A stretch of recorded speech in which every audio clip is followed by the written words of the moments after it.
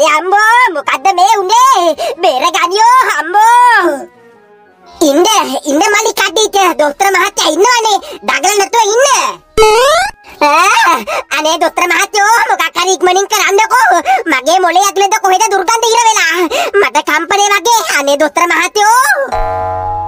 කිසි දෙයකට බය වෙන්න එපා ඉස්කෝලේ ටීචර්. මං හොඳ කරන්නම් ඉන්නකෝ. අනේ කාන්තිනාඩිත්ත මොකක්ද ඒ උනේ?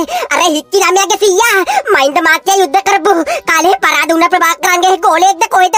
අම්මෝ බෝම්බයක් ගැහුවා වගේ. හරි හරි. ඉන්නකෝ. අපි එක පස්සේ බලාගමු. අර දොස්තර මහත්තයා බෙහෙත් එක විතර පස්සේ හැමදේම හරියයි මල්ලිකා ටීචර්. අම්මෝ මොලේ දෙතරනවා වගේ. බඩ පණුව බොස්සින් ගහනවා මුළු ඇඟම ගඳයි කියලා.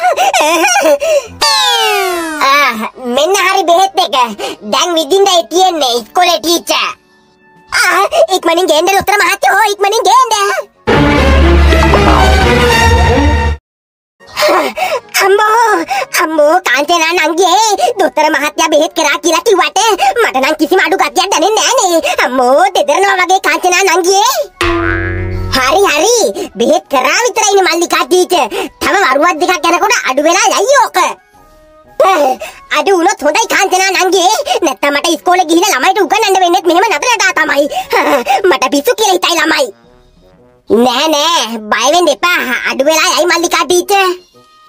අම්මෝ ආයි නං අර හිටි ළමයාගේ සීයා එනවා දැක්කත් මන්නන්න ඕනි. ඒ කාලේ ප්‍රභාකරන්ගේ යාළුවෙක්ද කොහෙද? අම්මෝ බෝම්බ කාර නාකියා මයින්ද මාතර මැසේජ් එකක් දාන්න ඕනි. නාකි කොටියේ තාමත් ඉතුරු වෙලා ඉන්නවා කියලා. ඕ දෙදරනවා මාව.